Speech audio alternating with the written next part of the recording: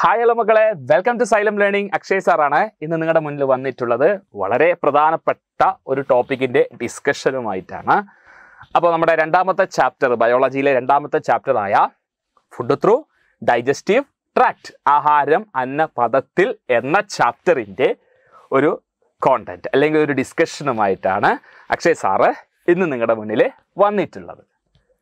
അപ്പോൾ ഇന്ന് നമ്മൾ ഡിസ്കസ് ചെയ്യുന്നത് സലൈവ ആൻഡ് ഡൈജഷൻ ഉമിനീരും ദഹനവും എന്ന ടോപ്പിക്കാണ് നമ്മുടെ ടെക്സ്റ്റ് ബുക്കിലെ ഒരു പാരഗ്രാഫ് ഒരു കുഞ്ഞു പാരഗ്രാഫാണ് ഒരു കുഞ്ഞു പാരഗ്രാഫ് ആണെങ്കിലും അതിൽ മനസ്സിലാക്കാൻ കുറേ കാര്യങ്ങളുണ്ട് എന്ന് മക്കൾക്കറിയാം. ആ കാര്യങ്ങളെല്ലാം തന്നെ ഫുൾ ക്ലാരിറ്റിയിൽ നമ്മളിവിടെ ഡിസ്കസ് ചെയ്യും. നമ്മുടെ ടോപ്പിക് എന്താ? സലൈവ ആൻഡ് ഡൈജഷൻ ഉമിനീരും ദഹനവും. നമുക്കറിയാം ദഹനം ആരംഭിക്കുന്നത് വായക്കകത്താണ് എന്നുള്ളത്. അല്ലേ? Digestion start in the mouth വായക്കകത്താണ് ദഹനം ആരംഭിക്കുന്നത് എന്ന് മക്കൾ എല്ലാവർക്കും അറിയാവുന്ന ഒരു കാര്യമാണ്. വായക്കകത്ത് വെച്ച് നമുക്കറിയാം ആഹാരത്തെ പല്ലുകൾ ഉപയോഗിച്ചുകൊണ്ടും നാവ് ഉപയോഗിച്ചുകൊണ്ടും ഒക്കെ നമ്മൾ എന്ത് ചെയ്യുന്നുണ്ട്? ചവച്ചരച്ച് അത് ഒരു എന്താ പറയുക വഴുവഴുപ്പുള്ളത് പോലെ ആക്കും. അപ്പോൾ വഴുവഴുപ്പുള്ളത് പോലെ ആവാൻ വേണ്ടി അവിടെ നമ്മളെ സഹായിക്കുന്നത് സലൈവ അഥവാ ഉമിനീരാണ് എന്ന് നമുക്കറിയാം. അപ്പോൾ നമ്മുടെ വായക്കകത്ത് നോക്കിക്കഴിഞ്ഞാൽ ഈ ചിത്രീകരണം ടെക്സ്റ്റ് ബുക്കിലെ ഒരു ചിത്രീകരണമാണെന്ന് മക്കൾക്ക് എല്ലാവർക്കും അറിയാം.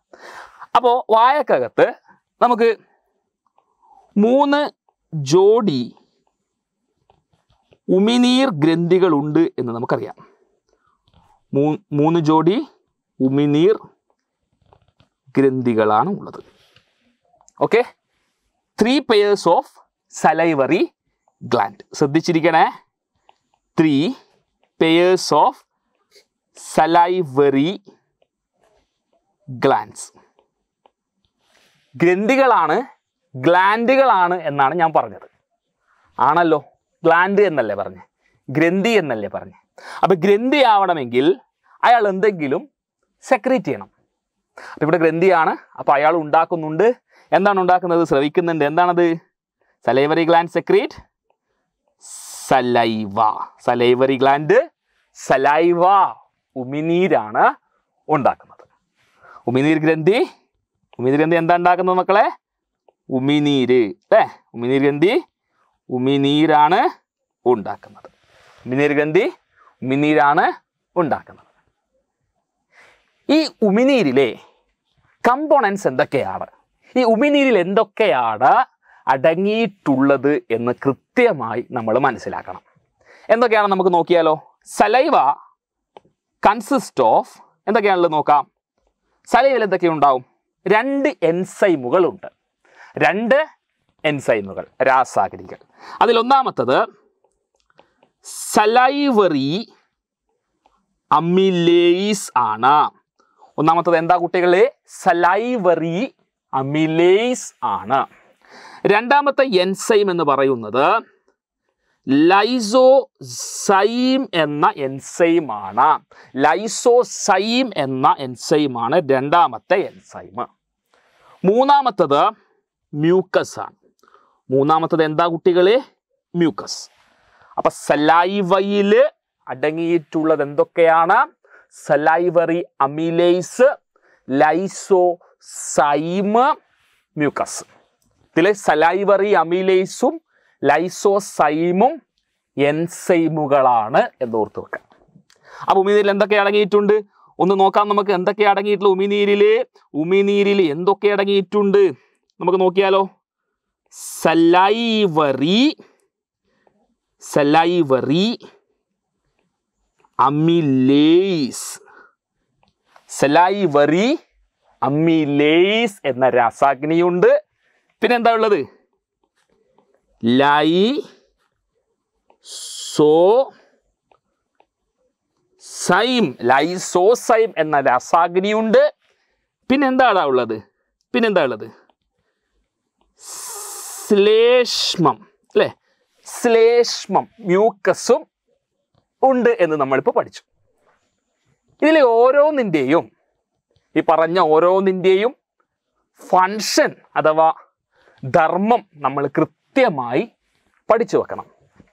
ഇതിൽ ശ്ലേഷ്മം അഥവാ മ്യൂക്കസ് ഇതിന്റെ റോൾ എന്താന്ന് ചോദിച്ചു കഴിഞ്ഞാൽ നമ്മൾ ഭക്ഷണം വായക്കകത്ത് ചവച്ചരയ്ക്കുന്ന സമയത്ത് ഭക്ഷണം വഴുവഴുപ്പുള്ളതായി മാറും. ഫുഡ് സ്ലൈമിയായി മാറും. വഴുവഴുപ്പുള്ളതായിട്ട് മാറും. അങ്ങനെ വഴുവഴുപ്പുള്ളതാക്കി മാറ്റാൻ സഹായിക്കുന്നത് മ്യൂക്കസ് അഥവാ ശ്ലേഷ്മമാണ്. അതുവഴി ഭക്ഷണം വിഴുങ്ങാനൊക്കെ വളരെയധികം എളുപ്പമായിരിക്കും. ഇനി രണ്ടാമത്തെ ആളാരാ ലൈസോസൈമ് എന്ന രാസാഗ്നിയാണ് എൻസൈം മക്കളെ മനസ്സിലായിക്കോളൂ.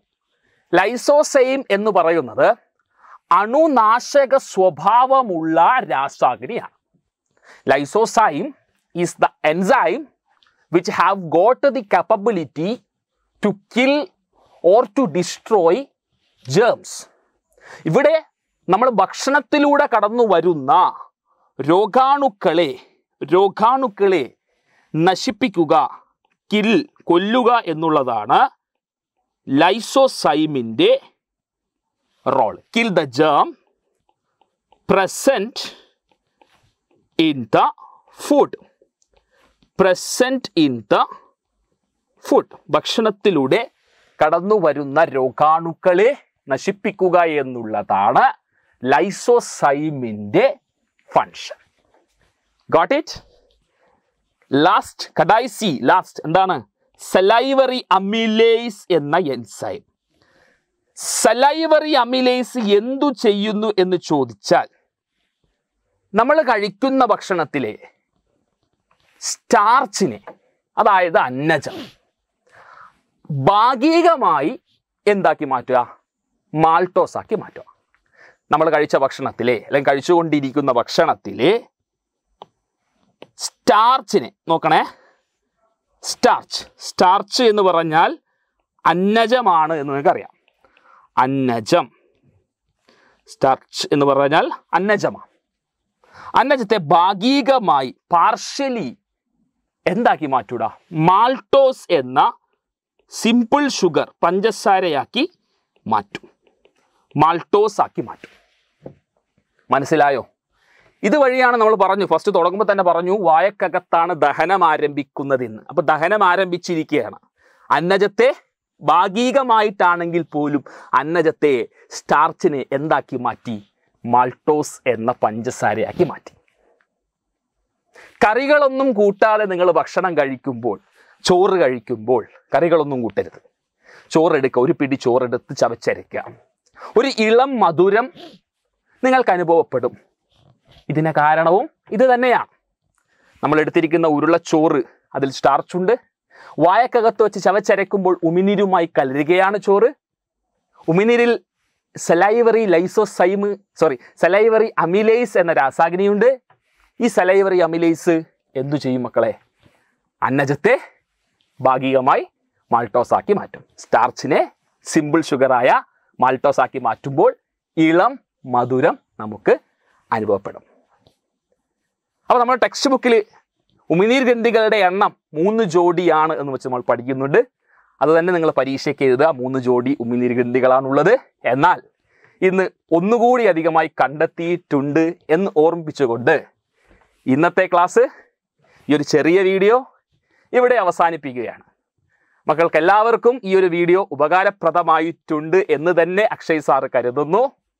ഇതുപോലുള്ള വീഡിയോസ് ഇനിയും നിങ്ങൾക്ക് ലഭിക്കണമെങ്കിൽ ഇനിയും നിങ്ങൾ ഈ വീഡിയോ ചാനൽ സബ്സ്ക്രൈബ് ചെയ്തിട്ടില്ല എന്നുണ്ടെങ്കിൽ ഇപ്പോൾ തന്നെ സബ്സ്ക്രൈബ് ബട്ടൺ ക്ലിക്ക് ചെയ്യുകയും തൊട്ടടുത്തു കാണുന്ന ബെല്ലൈക്കൺ കൂടി എന്ത് ചെയ്യണം മക്കളെ? ഞെക്കി പൊട്ടിച്ചേക്ക് എന്തിനാ? ഭാവിയിൽ ഞങ്ങൾ ഷെഡ്യൂൾ ചെയ്യുന്ന ലൈവുകളും ഇതുപോലുള്ള ഉപകാരപ്രദമായ ക്ലാസ്സുകളൊക്കെ നിങ്ങൾക്ക് ലഭിക്കണമെങ്കിൽ ഈ ബെല്ലൈക്കൺ കൂടി ഇനാബിൾ ചെയ്ത് വെക്കുക. അപ്പോൾ തുടർന്ന് വീണ്ടും അടുത്തൊരു വീഡിയോയിൽ കാണുന്നതായിരിക്കും it's me Akshay signing off bye